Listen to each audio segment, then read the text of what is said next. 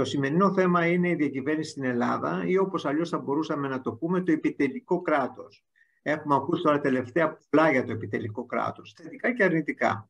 Δεν νομίζω όμως ότι γνωρίζουμε ακριβώς τι είναι αυτό το επιτελικό κράτος, ποιος είναι ο σκοπός του, ποιο είναι το, το νομικό καθεστώς και τι αλλάζει πραγματικά με την προηγούμενη μορφή της διακυβέρνησης ε, της Ελλάδος. Η κυβέρνηση, η κίνηση των πολιτών είναι για μια ανοιχτή κοινωνία. Οργάνωσε, όπως είπε και ο κύριος Καρβούνης, μια συνάντηση με αυτό το θέμα στις 5 Δεκεμβρίου, όπου ε, συζητήθηκαν πολλά θέματα ε, και νομίζω ότι θα έχουμε την ευκαιρία να, να ακούσουμε τα συμπεράσματα και την ε, προβληματική από τον γραμματέα του, της, της κίνησης, τον κύριο Γρηγόρη Πελεκάνου. Ο Γρηγόρης, Πελεκα, ο Γρηγόρης Πελεκάνος είναι, ε, είναι δικηγόρος, έχει σπουδάσει στο Πανεπιστήμιο των Αθηνών, αλλά έχει κάνει και μεταπτυχιακά, στο, έχει κάνει στο μάστερ στο Πανεπιστήμιο του Λονδίνου, σε θέματα ανταγωνισμού, δίκαιο βιομηχανικής και πνευματικής διοκτησίας, δίκαιο ε, εταιριών, διεθνές οικονομικό δίκαιο και είναι ένας senior partner στη δικηγορική εταιρεία Μπάλας, Πελεκάνος και συνεργάτες. Είναι μεγάλη χαρά που είναι σήμερα μαζί μας και νομίζω ότι κύριε Πελεκάνε σας, ε, θα έχετε την ευκαιρία να μας ε, ε εξηγήσετε όλα αυτά τα οποία ε, συμπεράνατε στην, ε, από την συνάντηση που κάνατε στις 5 Δεκεμβρίου. Κύριε Πελεκάνε, σας καλωσορίζουμε. Σας ευχαριστούμε πάρα πολύ που ήρθατε εδώ. Ο λόγος είναι σε εσάς. Σας ευχαριστώ πάρα πάρα πολύ. Ελπίζω να ακούγομαι.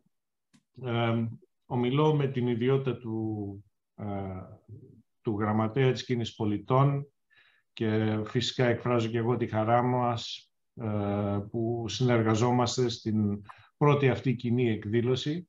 Ε, έχω παρακολουθήσει αρκετές από τις ε, συνομιλίες σας και πραγματικά είναι πολύ εντυπωσιακό το έργο το οποίο κάνατε και συγχαρητήρια σε όλους σας.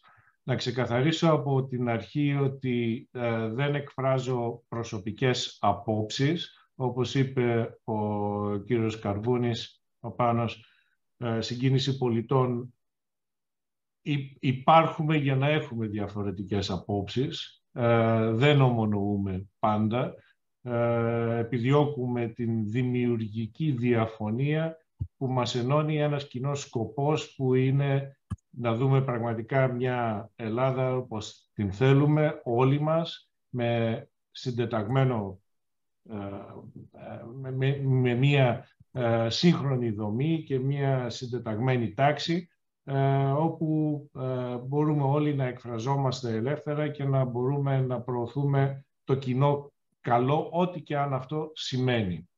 Οπότε τώρα μπορείτε να δείτε και τα slides τα οποία έχουμε ετοιμάσει. Η εκδήλωσή μας ήταν, είχε σαν θέμα τη διακυβέρνηση του, του κράτους, το ελληνικό υπόδειγμα, διεθνής εμπειρία.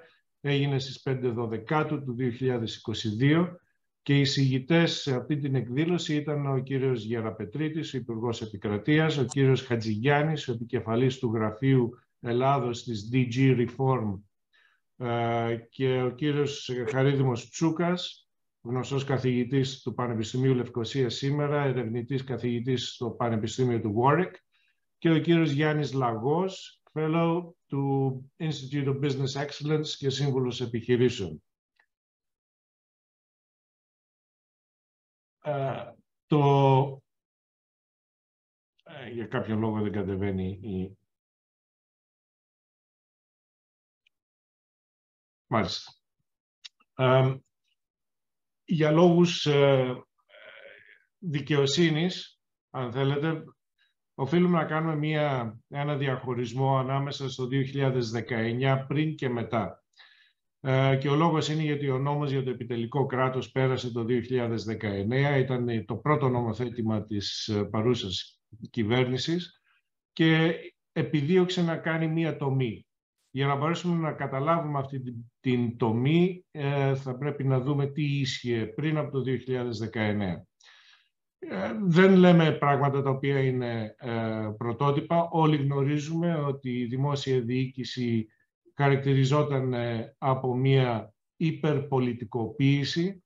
Η υπερπολιτικοποίηση αυτή οφειλόταν στον ρόλο του κράτους στην ελληνική κοινωνία Ε, χαρακτηριζόταν το κράτος, ο κεντρικός κρατικός μηχανισμός από έναν ασθενή κεντρικό συντονισμό.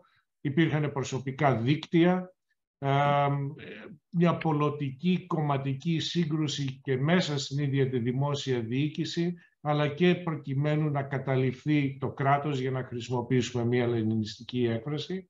Και η διοίκηση η ίδια χαρακτηριζόταν από πολύ προσωποπαγή δίκτυα εξουσίας, ε, κάθε υπουργός με το δικό του σύστημα γύρω από αυτόν, με αποτέλεσμα να υπάρχει ε, συνολικά πελατοκρατία, μια πολύ χαμηλή εμπιστοσύνη σε, ε, στους θεσμούς.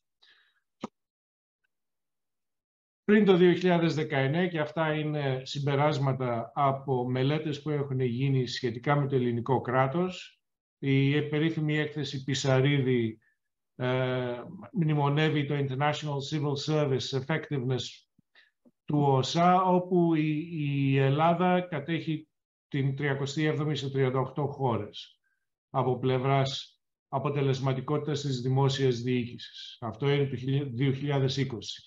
Οι Featherstone και Παπαδημητρίους στο βιβλίο τους «Οι Έλληνες Πρωθυπουργοί» μιλάνε για μια έλλειψη και αδυναμία θεσμοποιημένου κυβερνητικού συντονισμού. Υπάρχει αδυναμία κεντρικού ελέγχου, έλλειψη συντονισμού του κυβερνητικού έργου συνολικά. Δεν υπήρχε ενιαίο κέντρο διακυβέρνησης, άλλη διαπίστωση του ΟΣΑ. Ε, υπήρχαν άτυπες διαδικασίες, πολλές διαπροσωπικές σχέσεις. Ο έλεγχος γινόταν από τον Πρωθυπουργό σε κατηδίαν συναντήσεις με κάθε ε, έναν εκ των ε, υπουργών του. Ε, δεν υπήρχαν κανόνες για την διοίκηση του κράτους. Ακόμα πολύ χαρακτηριστικά, για παράδειγμα, δεν υπήρχε νομοθέτημα ή κανονισμός λειτουργίας του κράτους που να ορίζει πόσο συχνά θα, θα συνέρχεται το Υπουργικό Συμβούλιο. Το Υπουργικό Συμβούλιο συνερχόταν όποτε ήθελε ο Πρωθυπουργός. Με αποτέλεσμα να υπάρχουν, όπως ανέφερε και ο κ. Γιαραπετρίτης στην ομιλία του, μια άτυπη δημοκρατία ουσιαστικά, άτυπη με την έννοια της έλλειψης τύπου στον τρόπο με τον οποίο λειτουργούσε η δημοκρατία στην κεντρική δημόσια διοίκηση. Προφανώς όλοι μας έχουμε ε, ζήσει την πολιτικοποίηση των ανώτατων διοικητικών θέσεων, όπου ο Γενικός Γραμματέας κάθε Υπουργείου οριζόταν από τον εκάστοτε Υπουργό και πολλές φορές ήταν αποτέλεσμα συμφωνίας και συναλλαγής μεταξύ υπουργών θα βάλω τον δικό σου, θα βάλεις τον δικό μου ή ελέγχου κέντρων εξουσίας μέσα από τα Υπουργεία ανάλογα με το πόσο κρίσιμα ήταν τα Υπουργεία. Ε, η διοικητική ιεραρχία βασικά είχε υποκατασταθεί από τους υπουργούς και το μετακλητό προσωπικό, πολιτικό προσωπικό, το οποίο έφερνε κάθε υπουργός στο Υπουργείο και πολλές φορές λειτουργούσαν και τα προσωπικά πολιτικά γραφεία των υπουργών μέσα από τα Υπουργεία, με αποτέλεσμα να μην υπάρχει μια ικανή και ουδέτερη δημοσιοϊπαλληλία. Η δημοσιοϊπαλληλία και τα ανώτατα ιεραρχικά, οι ανώτερα ιεραρχικά επίπεδα της, ε, της δημόσιας διοίκησης χαρακτηριζόντουσαν από συγκεκριμένη πολιτική τοποθέτηση. Έμπαινε η μία κυβέρνηση, έβγαινε η άλλη. Ε, με αποτέλεσμα να υπάρχει και μία έλλειψη μνήμης και συνέχειας του θεσμού του κράτους. Είναι πολύ χαρακτηριστικό όπως αναφέρουν οι Φέδεστον και Παπαδημητρίου, πρωθυπουργοί που μπαίνουν στο Μαξίμου βρίσκουν τον τουλάπι άδειο. Ο Κωνσταντίνος Μητσοτάκης δεν βρήκε κανέναν υπάλληλο στη θέση του. Τον Σιμίτη τον υποδέχθηκε μόνο ένας κυπουρός και μία δακτυλογράφος. Ο Γιώργος Παπανδρέου ανακάλυψε ότι η προηγούμενη κυβέρνηση Καραμανλή είχε πάρει τους σκληρούς δίσκους από τους υπολογιστές των γραφείων. Παρόμοιες ιστορίες συμβαίνουν και στα Υπουργεία. Υπάρχει η τυπική εκδήλωση παραλαβής, παράδοσης παραλαβής που τη βλέπουμε όλοι στην τηλεόραση, αλλά ουσιαστική ενημέρωση δεν υπάρχει και αλίμονο εάν η μισή ώρα που βρίσκονται οι δύο κάτι ιδιαίτερο, ε, ιδιαίτερα στα γραφεία τους, αυτό συνιστά ουσιαστική πράξη παράδοσης και παραλαβής του ενός υπουργού προς τον άλλον και προφανώς όλα αυτά καταλήγουν στο ότι ε, το κράτος ε, δημιουργεί αλλά και λειτουργεί με βάση τα κριτήρια της πελατοκρατίας. Και το μεγάλο ερώτημα βεβαίως είναι γιατί όλα αυτά.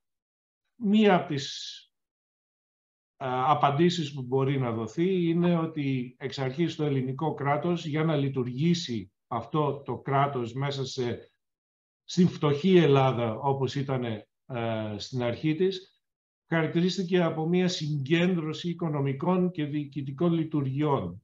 Είναι χαρακτηριστικό και το ξέρουμε όλοι ότι ε, οι οικονομικές λειτουργίες του κράτους είναι οι πλέον σημαντικές σαν σωρευτικό αποτέλεσμα και γύρω από αυτές τις λειτουργίες του κράτους συνοστίζονται οι οικονομικές ελίτ, οι οποίες προσπαθούν με τον τρόπο αυτόν να διαιωνίσουν την ύπαρξή τους και αυτά δημιουργούν φαινόμενα συναλλαγής και αποκλεισμού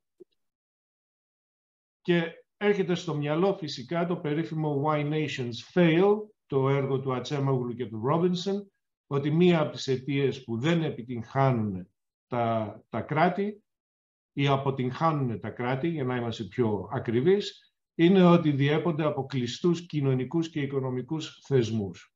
Δεν υπάρχει βάθος στην οικονομία, όλα συγκεντρώνονται γύρω από το κράτος, επομένως το κράτος είναι εκείνο το οποίο θα δώσει και την οικονομική και κοινωνική διέξοδο ή θα διατηρήσει τα κοινωνικά και οικονομικά πλεονεκτήματα, τα privileges που έχουν οι οικονομικές ελίτ.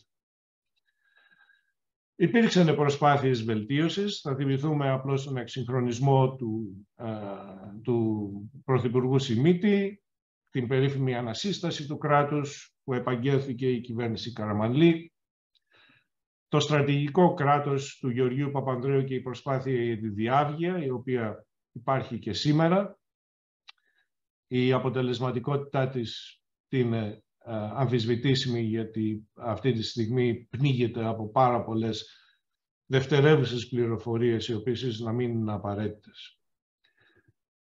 Θα ήταν επίσης παράληψη ότι στις προσπάθειες βελτίωσης να μην αναφέρουμε αυτά τα οποία έγιναν με την Task Force και την DG Reform που αν δούμε τι έγινε καταλαβαίνουμε και το χάος το οποίο επικρατούσε.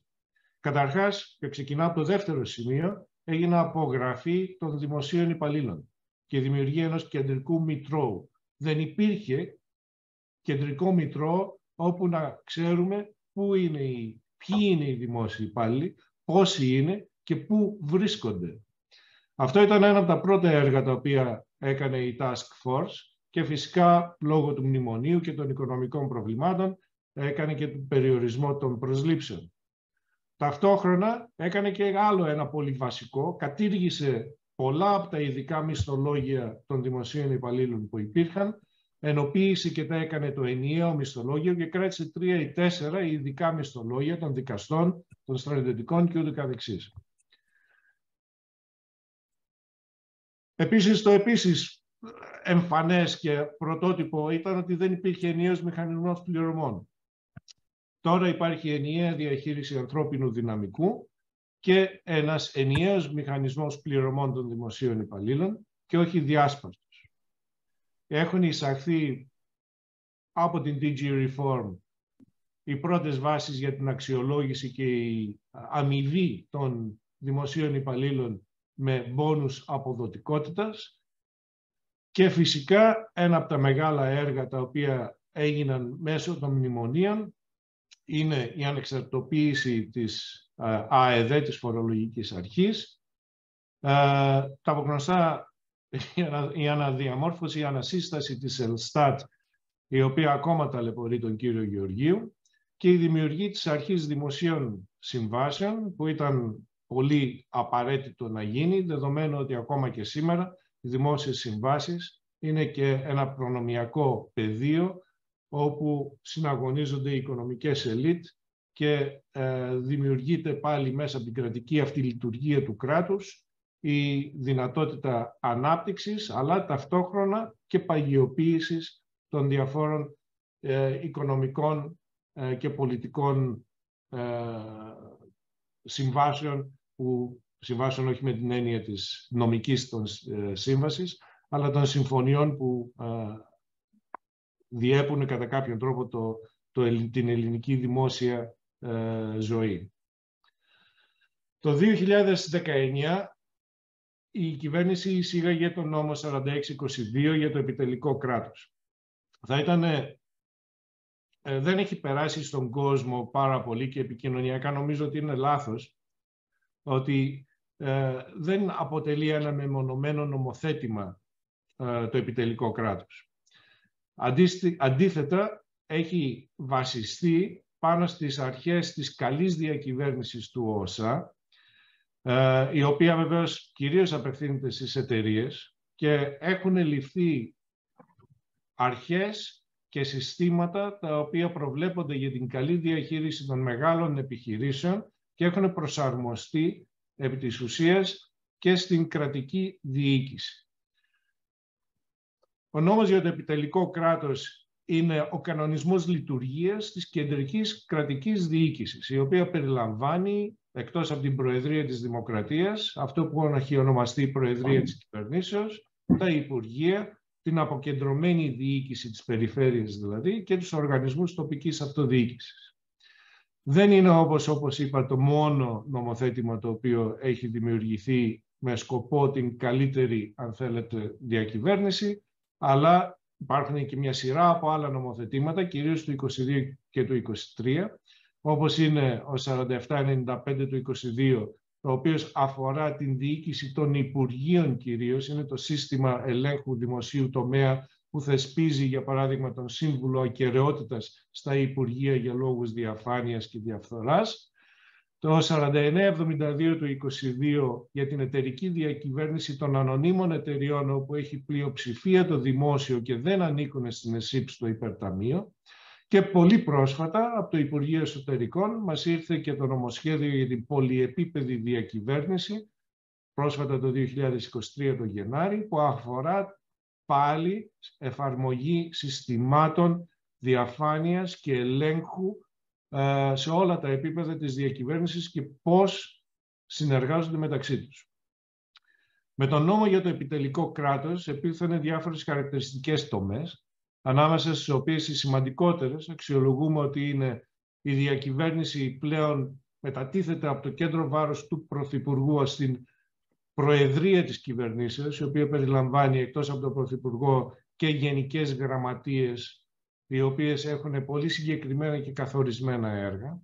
Εισάγει την αρχή της λογοδοσίας συνολικά στην κεντρική δημόσια διοίκηση, το οποίο γίνεται με την αρχή της διαφάνειας, Εθνική Αρχή Διαφάνειας, στην οποία προείσταται ο κ. Βουλιώτης. Με τους δύο επόμενους νόμους του 22 που αφορούν τα Υπουργεία και τις ΑΕ του Δημοσίου θεσπίζονται συστήματα εσωτερικών ελέγχων και ε, ε, προστασίας της ακαιρεότητας και της διαφάνειας των συναλλαγών και τμήματα εσωτερικού ελέγχου μέσα στα Υπουργεία και μέσα στις ΑΕ του Δημοσίου. Επομένως βλέπουμε μια συνολική πολιτική για την αρχή λογοδοσίας στην κεντρική διοίκηση ε, εισάγονται αρχές συντονισμού του Υπουργικού Συμβουλίου. Όπως σας ανέφερα, πριν δεν υπήρχε καν κανονισμός για το πώς θα λειτουργεί το Υπουργικό Συμβούλιο και πόσο συχνά θα συνεδριάζει. Τώρα υπάρχει, προβλέπεται η τακτική συνεδρία μία φορά τον ε, το μήνα. Υπάρχει προγραμματισμός των νομοθετημάτων από τα Υπουργεία προς το σύνολο του Υπουργικού Συμβουλίου που είναι τήσιος. Κάθε Απρίλιο τα Υπουργεία παρουσιάζουν το πρόγραμμά τους για το επόμενο χρόνο, συζητιέται στο Υπουργικό Συμβούλιο το πρόγραμμα αυτό και εγκρίνεται κάθε Σεπτέμβριο και παρακολουθείται η υλοποίηση του προγράμματος κάθε Υπουργείου όπως έχει εγκριθεί από το Υπουργικό Συμβούλιο. Ταυτόχρονα υπάρχουν οι, οι, οι, ε, οι υπηρεσίες συντονισμού των Υπουργείων που δεν υπήρχε πριν, όπου κάθε Υπουργείο πλέον έχει τη δυνατότητα να συνδυάζεται να, να συντονίζεται με τα άλλα Υπουργεία. Μεγάλη τομή επίσης είναι ο θεσμός των υπηρεσιακών γενικών γραμματέων, ο περίφημος Humphrey Appleby του Yes Minister. Οι υπηρεσιακοί γενικοί γραμματείς όλοι προέρχονται από την δημόσια διοίκηση, αλλά είναι δημόσιοι υπάλληλοι, δεν είναι εξωτερικοί, δεν είναι μετακλητοί, δεν είναι πολιτικοί έχουν την αποκλειστική αρμοδιότητα του προϋπολογισμού του Υπουργείου, αποκλειστική αρμοδιότητα για την διαχείριση του ανθρώπινου δυναμικού του Υπουργείου και την αποκλειστική αρμοδιότητα, η σχεδόν αποκλειστική αρμοδιότητα, όπως θα πούμε μετά, για την έκδοση ατομικών διοικητικών πράξεων, δηλαδή των πράξεων της διοίκησης που αφορούν συγκεκριμένα φυσικά πρόσωπα άτομα ή νομικά πρόσωπα, δηλαδή τον κύριο Πελεκάνο, τον κύριο Καρβούνη, τον κύριο Οικονομίδη και ούτω καθεξής, όχι όμως κανονιστικές διοικητικές πράξεις, οι οποίες νομικά έχουν μια γενικότερη εφαρμογή, για τις οποίες αρμόδιος παραμένει ο Γενικός Γραμματέας, ο πολιτικός γραμματέας, ο πολιτικά οριζόμενος Γενικός Γραμματέας. Και να τονίσω ότι προβλέπεται μέσα στον, στον νόμο για την, επιτελική, ε, για την επιτελική διοίκηση του κράτους, ότι και ο Υπουργός μπορεί να υποκαταστήσει τον υπηρεσιακό Γενικό Γραμματέα όταν υπάρχει επίγουσα περίπτωση ε, και επομένως νομοθετικά επίσης προβλέπεται ότι η αρμοδιότητα αυτή δεν είναι απόλυτη, αλλά μπορεί για επίγουσες περιπτώσεις ε, ο, ο Υπουργός να υποκαθιστά τον Γενικό Γραμματέα σε αυτή την ε, αρμοδιότητα. Επίσης, πάρα πολύ σημαντικό είναι η δημιουργία κλάδου επιτελικών στελεχών στην δημόσια διοίκηση, που περιλαμβάνει πολύ εξειδικευμένα στελέχη, νομικούς, data analysts, πληροφορικάριους και ούτω καθεξής. Ποια είναι τα προβλήματα τα οποία, που εντοπίσαμε σαν ε, κίνηση πολιτών; Ε, υπάρχει μια νομικοτεχνική, αν θέλετε, αντιμετώπιση του θέματος των αρμοδιοτήτων. Καλή και σωστή είναι η διάκριση ανάμεσα στις κανονιστικές και ατομικές διοικητικές πράξεις, στην αρμοδιότητα του πολιτικού γραμματέα και του υπηρεσιακού γενικού γραμματέα, αλλά όλοι μας έχουμε τη γνώση ότι αν ο υπουργός σηκώσει το τηλέφωνο, ο υπηρεσιακός γενικός γραμματέας θα κάνει ό,τι του πει ο υπουργός. Ελείπει δηλαδή η αναγνώριση της πολιτικής δυναμικής των πραγμάτων.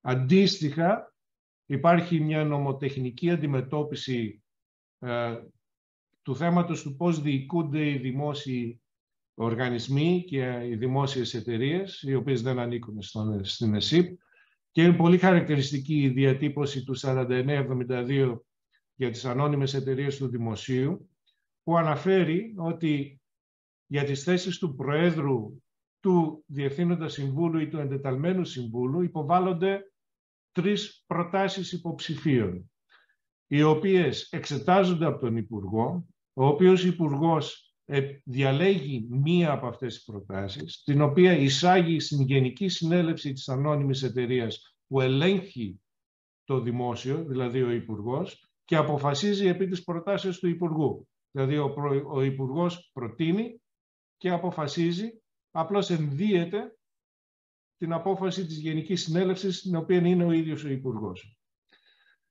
Και όσοι έχουμε ζήσει παρόμοιες καταστάσεις, ξέρουμε ότι οι τρεις οι οποίοι προτείνονται στον Υπουργό, οι δύο δεν παίζουν ούτε ή αλλιώς, είναι καμένα άλογα και ο ένας είναι αυτός ο οποίος έχει επιλεχθεί από πριν.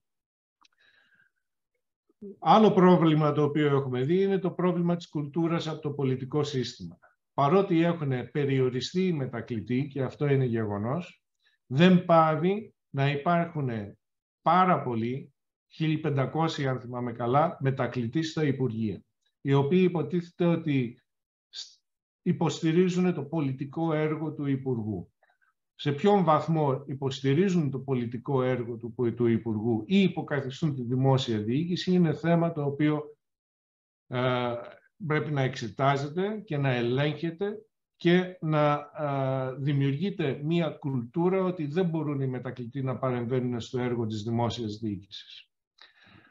Ένας ευρύτερος προβληματισμός αφορά τον θεσμό της Προεδρίας της Κυβέρνησης, που αντικατέστησε τον θεσμό του μεμονωμένου Πρωθυπουργού στην διοίκηση του κράτους έχει χαρακτηριστικά προεδρικής δημοκρατίας, ενώ έχουμε προεδρευόμενη δημοκρατία.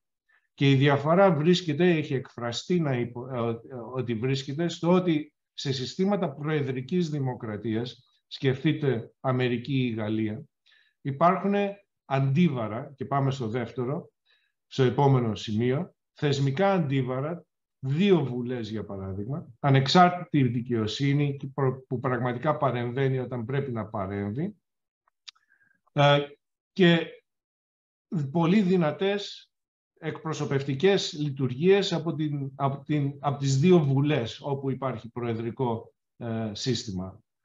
Ε, επομένως, το να δημιουργούμε, εκφράσεις και ο προβληματισμός μας, ένα σύστημα προεδρικής δημοκρατίας μέσα σε προεδρευόμενη δημοκρατία, χωρίς να υπάρχει το θεσμικό αντίβαρο που χαρακτηρίζεται και είναι απαραίτητο για την προεδρική δημοκρατία, αυτό δημιουργεί κάποια προβλήματα τα οποία θα μπορούσε κανείς να πει ότι τα βλέπουμε να ενεργοποιούνται σήμερα. Υπάρχουν προβλήματα λειτουργίας με τις ανεξάρτητες αρχές. Είναι πάρα πολύ πρόσφατα, πρόσφατες εμπειρίες και από την διακυβέρνηση του 2015-2019 και από την παρούσα διακυβέρνηση. Ε, η θέση απέναντι στις ανεξάρτητες αρχές είναι αμφίσιμη, είναι καλές όταν μας συμφέρουν, δεν είναι καλές όταν δεν μας συμφέρουν. Ε, από ένα κομμάτι του πολιτικού συστήματος θεωρείται ότι δεν πρέπει να υπάρχουν ανεξάρτητες αρχές, διότι δεν νοείται να υπάρχουν κέντρα αριστείας έξω από την ίδια τη δημόσια διοίκηση. Από την άλλη την πλευρά, κάποιοι ενώ γνωρίζουν ότι οι ανεξάρτητες αρχές ιδρύονται για να προστατεύσουν κλασικά, φιλελεύθερα, κλασικά δικαιώματα της, των, της φιλελεύθερης πολιτικής θεωρίας, δηλαδή εμάς να μας προστατεύουν από τις υπερβάσεις της κεντρικής εξουσίας, ε, παρόλα αυτά ε, δεν τις ενισχύουν με τον τρόπο που ίσως θα έπρεπε να τις ε, ενισχύουν ή να τις ε, συμπεριφέρονται με τον τρόπο που θα έπρεπε να τις συμπεριφέρονται. Υπάρχει βεβαίως και το θέμα του πόσο αποδοτικός θα είναι ε, ο εσωτερικός έλεγχος ή η εσωτερική λογοδοσία και η διαφάνεια.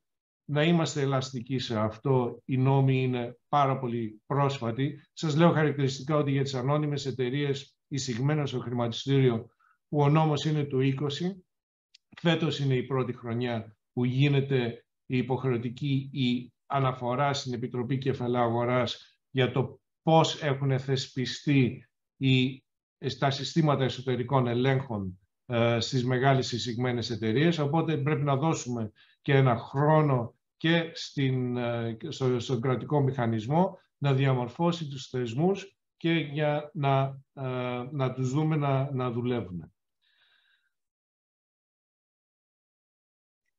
Οι προτάσεις που έχει να κάνει η κίνηση πολιτών είναι σε τρία επίπεδα. Είναι για τα κόμματα, τη δημόσια διοίκηση και το επιτελικό κράτος καθ' αυτό. Μιλάμε για τα κόμματα διότι τα κόμματα είναι αυτά τα οποία είναι η βάση του πολιτικού μας συστήματος. Και η αλήθεια είναι ότι η δημόσια διοίκηση ποτέ δεν πρόκειται να ορθολογικοποιηθεί η λειτουργία της, ποτέ δεν πρόκειται να λειτουργήσει ε, σωστά και δημοκρατικά, ποτέ δεν πρόκειται να έχει διαφάνεια, εάν δεν υπάρχει λογική δημοκρατικής λειτουργίας της δημόσιας διοίκησης από τα ίδια τα κόμματα. Όταν τα κόμματα σταματήσουν να βλέπουν την δημόσια διοίκηση σαν μηχανισμό που εξυπηρετεί τα δικά τους στενά συμφέροντα, τότε και η δημόσια διοίκηση θα έχει κάποιες ελπίδες. Επομένως, χρειάζεται η ενίσχυση της δημοκρατικής λειτουργίας και της δημοκρατικής αντίληψης, μπορεί να ακούγεται σκληρό, μέσα από την ίδια τα κόμματα. Μεγάλη σημασία θα έχει και η, η θέσπιση κανόνων χρηματοδότησης των κομμάτων από τρίτους. Δεν έχουμε γίνει και στο παρελθόν μάρτυρες φαινομένων ταμείων των κομμάτων να χρηματοδοτούνται από ιδιωτικά κεφάλαια και δεν αναφέρομαι μόνο στα πρόσφατα αλλά και σε προηγούμενα της δεκαετίας, της οκταετίας 96-2004 ε, και μετά, προφανώς, και το 2004-2008 και διαχρονικά από το 2015 και μετά. τα οποία τα βλέπουμε και τα ακούμε σήμερα. Και μία πρόταση η οποία ε, έγινε είναι να συναρτάται η κρατική επιχορήγηση από την εκπαίδευση, την κομματική εκπαίδευση, την εσωτερική κομματική εκπαίδευση. Ένα μέρος από την κρατική επιχορήγηση να μην πηγαίνει μόνο στα ιδρύματα τα οποία συνδέονται με τα πολιτικά κόμματα, είτε είναι Κωνσταντίνου Καραμαλή, είτε Ανδρέα Παπανδρέου, είτε ε, Νίκου Πουλατζά, είτε οτιδήποτε άλλο, αλλά ταυτόχρονα να πηγαίνει η επιχορήγηση να κατανέμεται και για θέματα κομματικής εκπαίδευσης, έτσι ώστε και τα κόμματα να παράγουν πολιτικούς, κομματικά στελέχη, τα οποία μπορούν να δημιουργούν πολιτική. Όσον αφορά την δημόσια διοίκηση, η πρόταση είναι φυσικά συνολική. Εγώ θα επικεντρωθώ στο ότι πρέπει να σταθεροποιηθεί το πειθαρχικό ποινικό δίκαιο για τα θέματα διαφάνειας και σύγκρουσης συμφερόντων. Δεν είναι δυνατόν να αλλάζουν οι ποινικοί νόμοι που αφορούν τη δωροδοκία και τη δωροληψία κάθε τόσο και λιγάκι. θα πρέπει να μπουν και να λειτουργήσουν οι μηχανισμοί whistleblowing ε, για τον τρόπο με τον οποίο ε, γίνεται ενδεχομένως απάτη για, όχι μόνο για κοινοτικά κονδύλια όπου είναι ένας πολύ πρόσφατος νόμος που πέρασε στην Ελλάδα ε, και θα πρέπει να, ε, να, να, να δούμε πώς θα εφαρμοστεί. Ένα πολύ ενδιαφέρον θέμα το οποίο θίχθηκε είναι το ελληνικό δημόσιο δεν φαίνεται να έχει δυνατότητες να κάνει project management. Είναι χαρακτηριστικό ότι ο νόμος για τις δημόσιες συμβάσεις είναι από τις λίγους στην Ευρώπη που εκτός από την διαδικασία των δημοσίων έργων προκήρυξης των δημοσίων έργων και επιλογής των αναδόχων περιλαμβάνει και λεπτομερείς ρήτρες μέσα για την σύμβαση εκτέλεσης του δημοσίου έργου, ακόμα και πώς θα γίνονται οι επιμετρήσεις. Η αξιοκρατική επιλογή των διοικήσεων των δημοσίων επιχειρήσεων προφανώς είναι σημαντικό. Ένας εκ των ομιλητών ή πρότεινε το ΑΣΕΠ να μετεξελιχθεί σε ανεξάρτητη αρχή δημόσιας διοίκησης. Θα πρότεινα επίσης, θα έχουμε προτείνει επίσης η Εθνική Σχολή Δημόσιας Διοίκησης που εκ των πραγμάτων οι διδάσκοντες εκεί είναι οι καλύτεροι και επομένως θα έπρεπε και η Εθνική Σχολή Δημοσίας Διοίκησης να συμμετέχει στον έλεγχο της εφαρμογής του πρωτογενούς και δευτερογενούς νομικού πλαισίου που αφορά την διοίκηση, της την διοίκηση του κράτους. Μεγάλο πρόβλημα παραμένει η αποκεντρωμένη διοίκηση και ο οργανισμός τοπικής αυτοδιοίκησης. Οι οργανισμοί τοπικής αυτοδιοίκησης σήμερα και οι αποκεντρωμένες διοικήσεις στο επίπεδο της παραγωγής δημοσίων έργων αποτελούν και είναι κοινό θέμα αυτό τον προνομιακό τόπο της διαφθοράς σήμερα στην Ελλάδα. Οι εκθέσεις της Ανεξάρτητης Αρχής Δημοσίων Συμβάσεων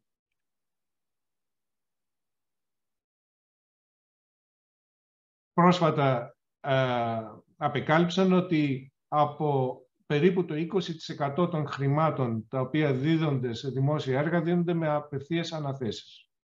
Ο ίδιος ο Πρωθυπουργός σε πρόσφατη ε, ε, συνέντευξή του είπε ότι το θέμα πρέπει να κοιταχθεί. Μιλάμε για δισεκατομμύρια τα οποία φεύγουν χωρίς να υπάρχει επί της ουσίας κανένας έλεγχος. Στον κορμό όλων αυτών των πραγμάτων προφανώς βρίσκεται η εφαρμογή συστήματος αξιολόγησης και προαγωγής των δημοσίων ε, ε, υπαλλήλων έτσι ώστε να μπορούν να ε, στελεχώνουν τις υπηρεσίες οι άνθρωποι οι οποίοι έχουν και την ικανότητα και την δυνατότητα και το γνωστικό αντικείμενο να εξυπηρετούν το έργο το οποίο πρέπει να γίνεται εκεί. Και προφανώς πίσω από όλα αυτά πρέπει να θωρακιστεί όλη η δημόσια υπαλληλική ιεραρχία. Είναι επικίνδυνος ο όρος η θωράκιση της δημοσιοπηλικής ιεραρχίας αλλά με την έννοια του να υπάρχουν μηχανισμοί άμυνας αντίστασης στην κατάχρηση της πολιτικής εξουσίας. Όσον αφορά τέλος το επιτελικό κράτος, εάν τα κόμματα τα οποία κυβερνούν δεν βάλουν σαν στόχο να υπάρχει, αν δεν έχουν μάλλον μια κουλτούρα αμεροληψίας και αξιοπιστίας και με αμεροληψία εννοώ να κρίνουν τις υποθέσεις αποκλειστικά με βάση τον νόμο και όχι με βάση τα συμφέροντα, δεν θα πάει πουθενά όλο το σύστημα. Μπορούμε να έχουμε άριστες διαδικασίες. Όλοι γνωρίζουμε ότι οι διαδικασίες μπορούν πάρα πολύ εύκολα να παρακαμφθούν όταν δεν υπάρχει αμεροληψία. Μία ιδέα που τέθηκε είναι να δημιουργηθεί ένα κυβερνητικό ESG, ESG Environment Sustainability Governance Program. Άλλη πρόταση ήταν το ΑΣΕΠ, η Εθνική Σχολή Δημόσιας Διοίκησης, να αξιολογεί την τήρηση της, του νόμου για τον επιτελικό κράτος από τα Υπουργεία και την Κεντρική Διοίκηση. Για παράδειγμα, να καταγράψει μετά από δύο ή τρία χρόνια εφαρμογής πόσες φορές σε κάθε Υπουργείο ο Υπουργός υποκατέστησε την κρίση του υπηρεσιακού Γενικού Γραμματέα επικαλούμενος επίγουσα περίπτωση. Προφανώς η αξιολόγηση πρέπει να επεκταθεί στην περιφέρεια, στους οργανισμούς και στους οργανισμούς τοπικής αυτοδιοίκησης. Ελπίζουμε ότι θα γίνει η εφαρμογή του, του νόμου. Το δύσκολο θέμα της, ε, της διαχείρισης και της ενίσχυσης των ανεξάρτητων αρχών. Ένα ιδιαίτερο θέμα είναι η ενίσχυση της λογοδοσίας προς την Βουλή από τη στιγμή που έχουμε τύπης προεδρευόμενη δημοκρατία, επί της ουσίας προεδρική δημοκρατία, θα πρέπει να ενισχυθεί ο ρόλος της Βουλής στον έλεγχο του, της κεντρικής δημόσιας διοίκησης. Για παράδειγμα, ναι μεν προβλέπεται στην αντιπολίτευση η δυνατότητα σύστασης εξεταστικής επιτροπής, αλλά η λειτουργία της Εξεταστικής Επιτροπής διέπεται από την αρχή της πλειοψηφίας και πρόεδρος της είναι πάντοτε πρόεδρος του, της πλειο, του πλειοψηφούντος κόμματος. Κατά συνέπεια, πολλές φορές, οι εξεταστικές επιτροπές, όταν κινείται η διαδικασία από την αντιπολίτευση, αν όχι όλες τις φορές, οδηγείται σε αδιέξοδο. Και τέλος, βέβαια, πρέπει να υπάρχει η, ο πολίτης στο κέντρο της διοίκησης. Πρέπει αυτό να είναι ο καθοδηγητικός ε, κορμός της σκέψης όλων όσων διοικούν. Σας ευχαριστώ για την, ε, ε, για την προσοχή σας.